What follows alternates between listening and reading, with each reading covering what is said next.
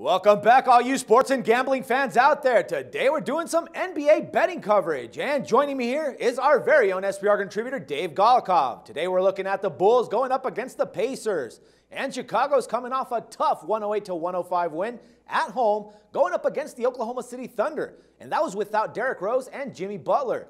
So both these guys can actually take as much time as they need to recover from those injuries if E'Twaun Moore and Nikola Mirotic can continue to pick up the slack especially Moore after pulling off that amazing three-pointer in the final seconds of last night's game.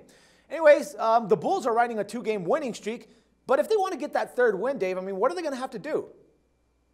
Well, I think they're going to have to put forth another effort like last night. This is a Bulls team that is definitely short-handed, and uh, it's not just Butler, it's not just Rose, Taj Gibson also out a couple of weeks. They're very, very thin in terms of uh, depth right now, but this is a team that started with a lot of depth. So if they're to win tonight in Indiana, they're going to have to continue to count on that depth. Now, secondly, it wouldn't hurt if their defense finally showed up. You know, this Bulls team was built on defense throughout all of the years that Tom Thibodeau has been head coach. This year has been the aberration. You know, last night you see games in the hundreds again. This needs to this team needs to get games back into the 90s area, uh, even high 80s. And against a team like Indiana, they might be able to do that. All right, now Indiana seems to actually be picking up some steam as they've won their last three games in a row and have gone 8 and 2 in their last 10 games. Yet they're still 26 and 34 for the season and a half a game behind Charlotte for the eighth place in the Eastern Conference. So considering that they are at home, I mean, do you expect them to be able to prolong that winning streak to four uh, to four games? Yeah, I do. Uh, this is a Pacers team that's been red hot of late, won 9 of 11 games. With George Hill in the lineup, this is a completely different team uh, than without him.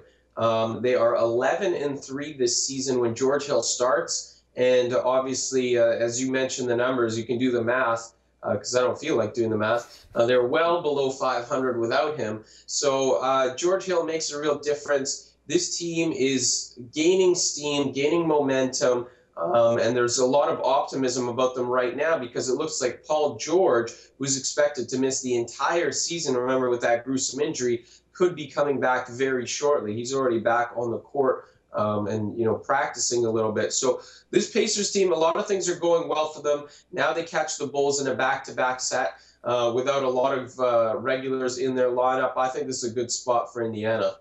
All right, man. Now, uh, bookmakers, they're favoring the Pacers at minus between minus five and a half and minus six on the spread. You're recommending that we side with them on the minus five and a half or minus six, um, but you know they are 33, 24, and three against the spread, while Chicago is 29 and 33 against the spread. But Indiana is one and one when favored by five to five and a half points, and 0 and one when favored by six to six and a half points.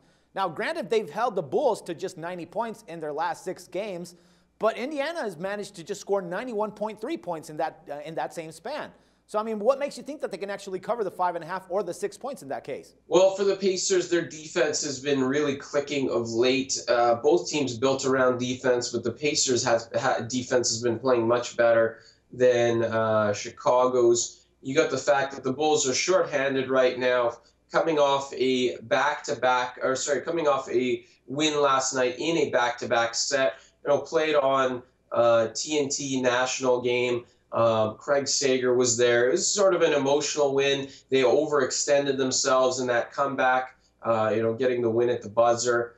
And uh, now all of a sudden they got to go on the road, and it's a quick turnaround. Play an Indiana Pacers team that's uh, red hot right now. Pacers defense has been fantastic, as mentioned. Uh, the Pacers are at home where they're a much better team. I think all those factors point to a Pacers win and cover here.